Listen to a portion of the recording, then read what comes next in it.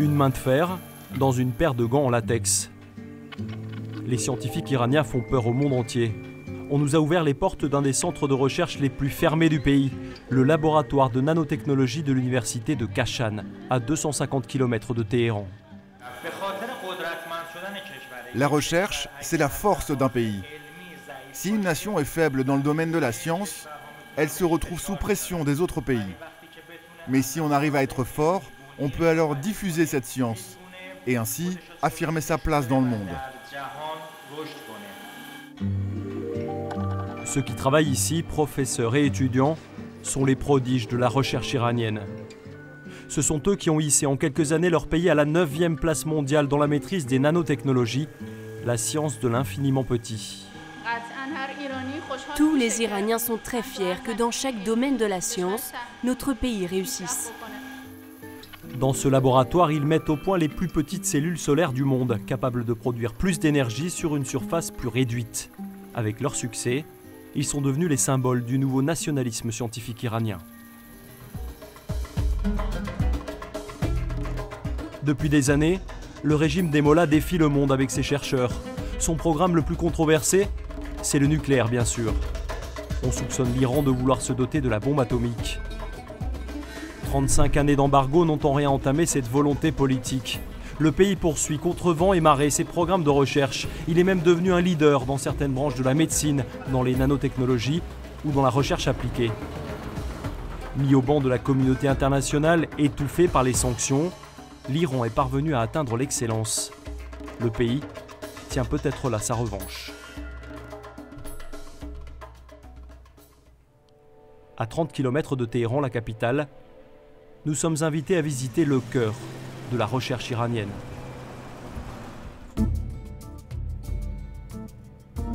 L'IROST, l'Institut pour la recherche scientifique et la technologie, c'est là que travaillent 200 des plus éminents scientifiques iraniens. Ici, leurs recherches portent sur la biotechnologie, la chimie, les énergies ou encore la médecine.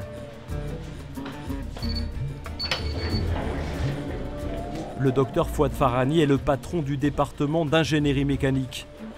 Il travaille dans la recherche spatiale. Bienvenue. C'est à lui que l'Iran doit quelques-uns de ses succès dans un domaine stratégique. Ici, nous sommes dans le centre de recherche spatiale. Nous faisons des recherches sur tous les composants des satellites. Dans cette pièce à gauche est conçue toute la mécanique des satellites iraniens. C'est un endroit très sensible Ah oui, très sensible. L'IROST a été fondé en 1980, immédiatement après la révolution islamique. C'est l'époque où Fouad Farani a rejoint l'Institut. À l'époque, c'était le néant. On n'avait aucune connaissance dans le domaine de la technologie spatiale. Moi-même, je me souviens, quand j'ai commencé, je n'avais jamais vu un satellite de ma vie. En 2009, le rêve de Fouad Farani se réalise. Mahmoud Ahmadinejad en personne lance Omid, espoir en persan, le premier satellite de télécommunication iranien. Plus qu'un espoir, ce jour est pour l'Iran le moyen de prouver au monde entier sa maîtrise scientifique. Si vous maîtrisez la science, vous avez le pouvoir. Notre vision pour notre développement futur, c'est que l'Iran, en 2020-2025, soit le pays numéro un dans la région. Quand je dis la région, c'est des pays comme la Turquie, l'Égypte, des pays équivalents aux nôtres.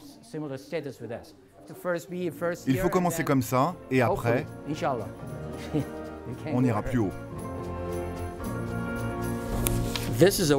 Regardez, même sur les billets de 5000, c'est Omid, le premier satellite iranien. De l'autre côté, c'est l'ayatollah Khomeini, notre regretté leader. C'est une image surprenante. Ces hommes qui envoient des satellites dans l'espace s'inclinent ici vers le sol. Dans la plupart des pays, science et religion ne font pas bon ménage, mais dans la mosquée de l'Irost, à l'heure de la prière, personne n'y voit matière à polémique. On a compris dès le début de la République islamique l'importance de la recherche. Si on compare les gouvernements que nous avons eus avant la révolution islamique et celui d'aujourd'hui, ça n'a rien à voir. On met désormais beaucoup plus de moyens pour développer la science. C'est incomparable. Depuis la Révolution, les investissements réalisés et le nombre d'étudiants dans la recherche ont été multipliés par 100 au moins. La science au service de Dieu. Pour affirmer sa place de leader, la République islamique a même créé un prix scientifique prestigieux. Chaque année, sous le regard des leaders religieux, les meilleurs chercheurs du monde se retrouvent à Téhéran pour la finale du prix Khwarizmi. Il récompense des innovations scientifiques. Cette année, un Britannique, un Allemand et un Chinois ont été récompensés.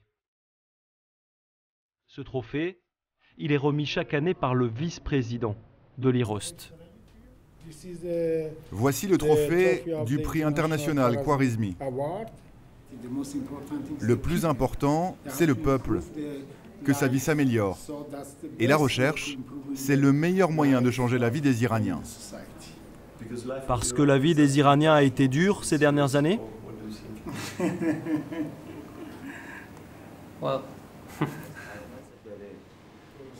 Des années de sanctions internationales, loin de décourager l'Iran pourtant, ont au contraire renforcé sa détermination. Autour de cette table, on prépare déjà la prochaine édition du prix Khwarizmi. Les limites euh, politiques, les limites euh, commerciales ont fait que euh, les chercheurs ont été obligés de, lever les manches et, puis de produire et chercher. bon, maintenant, avec tous les embargos, l'Iran est, obligé de produire lui-même et, c'est à son, à son avantage. Au final. Voilà. Au cours de la cérémonie euh, du prix international, le président a fait un discours euh, justement qui disait qu'il faut, il faut concrétiser vos, recherches. Hein. Euh, montrez-moi ce que vous faites. Et justement, à chaque fois, à chaque rapport, le ministère dit votre know c'est quoi? Qu'est-ce que vous avez produit? Qu'est-ce que vous avez fait? Il faut des résultats pour redresser l'économie. Les sanctions internationales étouffent l'Iran. Elle coûterait plus de 100 millions d'euros chaque jour au pays. Et tous les secteurs de l'économie sont touchés. Nous partons dans la province de Gilan, à 300 km au nord-ouest de la capitale. Cette région, c'est le grenier Harry de l'Iran. Il est vital pour le pays. Ici, un laboratoire à ciel ouvert, 300 hectares de riz gérés par le gouvernement iranien. Cela fait 50 ans que le pays travaille à améliorer ses espèces. Les enfants, vous ne mélangez pas tout, hein Tu es sûr que c'est la bonne variété? Mariam Hosseini dirige ce centre de l'Institut de recherche sur le riz. Dans chaque carré de ces prés, soigneusement séparés, des centaines d'espèces modifiées. Ça, c'est le riz sur lequel on fait nos modifications. C'est stratégique pour notre peuple. On fait tout pour améliorer nos variétés de riz, que ce soit au niveau de la qualité ou de la quantité. Il faut améliorer l'alimentation de nos concitoyens. Nos chercheurs ont le soutien du gouvernement pour qu'on devienne autosuffisant. C'est ça notre objectif.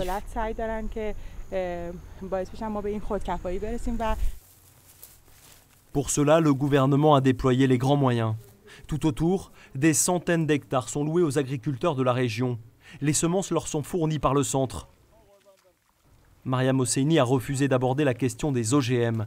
Mais ces paysans, eux, en ont entendu parler. Ils font des études sur les OGM, mais ce n'est pas encore utilisé. Vous savez le temps que ça met pour que ça arrive entre les mains des agriculteurs. Le gouvernement travaille encore dessus. Nos professeurs, nos chercheurs, tout le monde fait des recherches pour ça. À quelques centaines de mètres, le laboratoire. 46 chercheurs travaillent ici à l'amélioration des variétés. Encore une fois, on nous affirme qu'il s'agit de simples croisements d'espèces, pas de modifications génétiques. Pourtant, les résultats sont impressionnants. Ça, c'est une espèce de cette région, la chémie. On arrive à en produire 3 tonnes environ par hectare. Après l'hybridation, on réussit à produire cette autre variété. Et on atteint des rendements de 7 tonnes par hectare avec une qualité satisfaisante, correcte, même si ce n'est pas au niveau du HMI.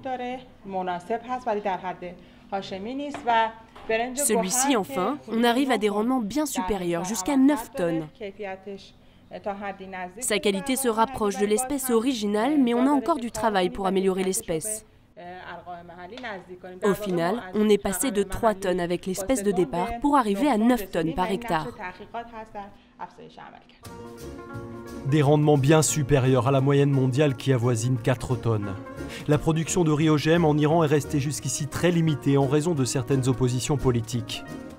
Mais le nouveau gouvernement soutient ardemment cette recherche et l'Iran pourrait devenir prochainement le premier pays du monde à autoriser son arrivée massive sur le marché. Et il y a bien d'autres domaines vitaux pour le pays, comme la santé par exemple. L'hôpital Shariati à Téhéran est un établissement public et il maîtrise lui aussi une technique de pointe. Ce matin encore, on prépare le bloc opératoire. C'est un père de famille qui va peut-être sauver la vie de son fils âgé de 8 ans grâce à un don de moelle osseuse. Il souffre d'une maladie très grave, une maladie mortelle. Un problème d'immunodéficience, c'est une anomalie génétique. On doit donc restaurer son système immunitaire avec des cellules souches en pleine santé. Grâce à l'implantation des cellules souches contenues dans la moelle, les chances de guérison dans des cas de leucémie par exemple passent de 15 à plus de 60%. Cette science, peu de pays au monde la maîtrisent aussi bien que l'Iran. Et ses succès, le pays les doit à cet homme, le professeur Ardeshir Gavamzadeh. C'est lui qui dirige le service des transplantations.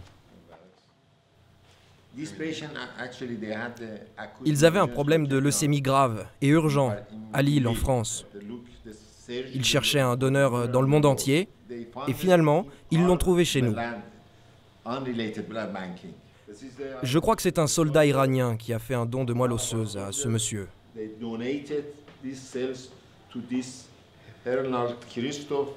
On a déjà donné dans cet hôpital à 5000 patients une seconde vie. Et ça, c'est ma satisfaction.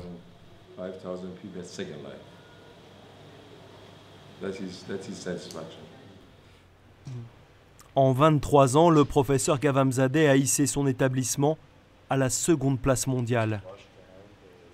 L'année dernière, il a réussi 445 transplantations de moelle osseuse. Il n'y a qu'un hôpital de Seattle aux États-Unis qui a fait mieux. Bonjour, vous allez bien? Il semble que c'est la fête. Vous allez sortir aujourd'hui. Moi, j'ai vu la mort en face, 4 à 5 fois déjà, avant la transplantation. Alors tu es tiré d'affaire cette fois? Si Dieu le veut. Ma vie maintenant, elle est entre les mains de Dieu, de la science et du professeur Gavamzadeh. Il me donne de l'espoir et il dit que ma transplantation s'est bien passée. En 2012, le professeur Gavamzadeh a été élu meilleur chercheur du monde pour ses recherches sur les cellules souches. L'hôpital Chariati et sa figure tutélaire sont devenus une référence. L'Iran moteur de la recherche scientifique. C'est comme cela que le pays se rêve. Au pied des montagnes du nord de Téhéran, ce rêve est sorti de terre. Le Pardis Park, une zone franche où sont installées 200 des plus prometteuses entreprises qui travaillent dans les nouvelles technologies. Au loin, la ville nouvelle accueille déjà 70 000 habitants. La main-d'œuvre de ce qu'on a baptisé la Silicon Valley iranienne.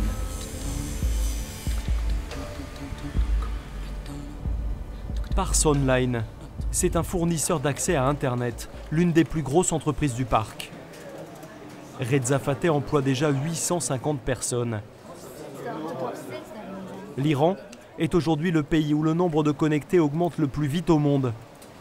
Et ce, malgré les difficultés. Le pays a décidé que toutes les informations à destination de l'extérieur devaient passer par un point central, contrôlé par le gouvernement. Dès que cela va changer, on pourra se connecter à l'étranger directement. mais le réseau est encore contrôlé à 100% par les autorités. Et ça ne marche pas si bien. Et non, il y a quelques problèmes. Il y a beaucoup à faire encore, oui.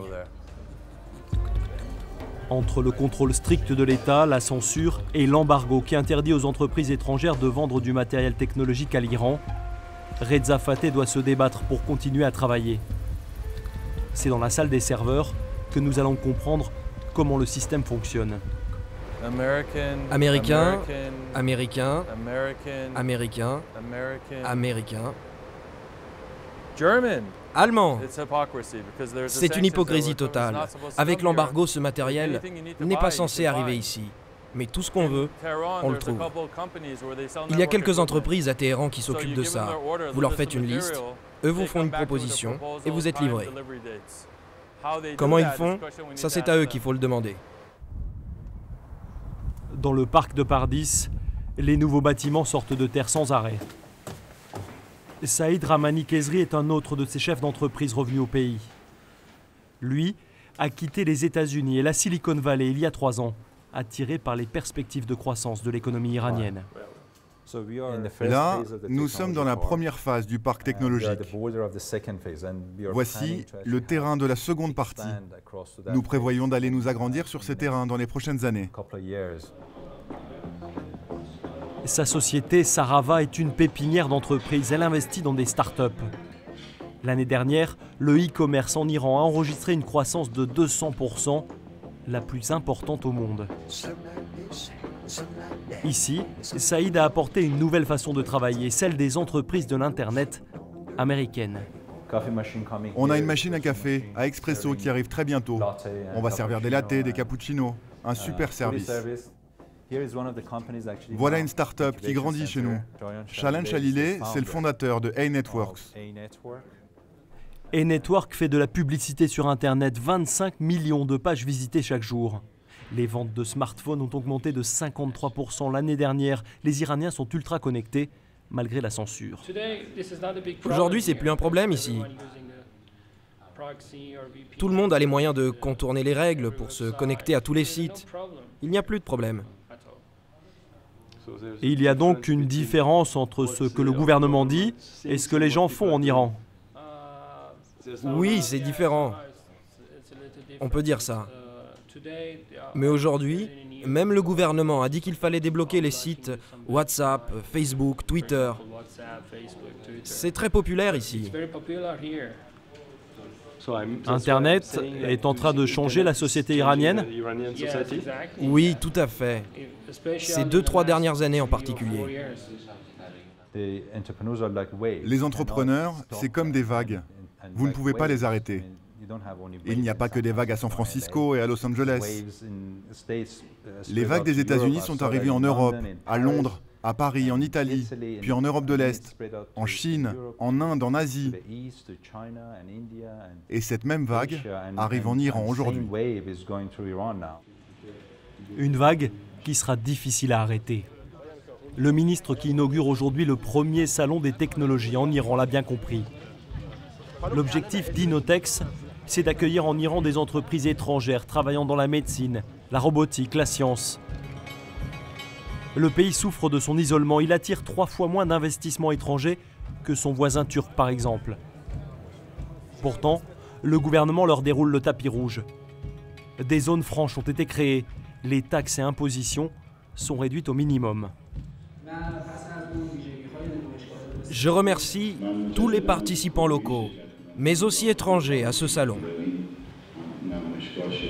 Je vous annonce que le gouvernement soutient résolument ce mouvement d'ouverture. L'Iran est peut-être à un tournant de son histoire.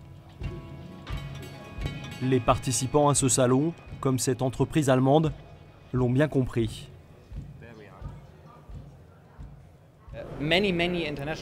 Beaucoup de compagnies étrangères n'attendent qu'une chose, des signes plus forts d'ouverture de l'Iran que le pays se mette d'accord avec la communauté internationale. Ensuite, ils vont venir ici. Nous, nous croyons en ce marché et nous ne voulons pas attendre que tout le monde vienne ici pour nous installer.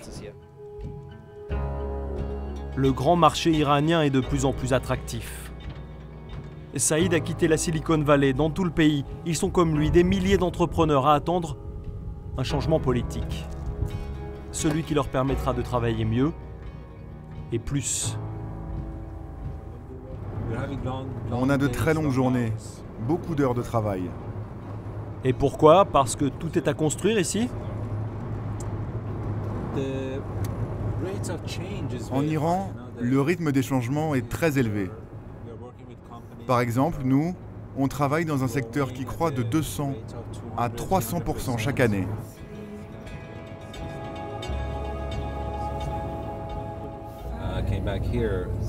Quand je suis revenu ici, c'était un sentiment étrange.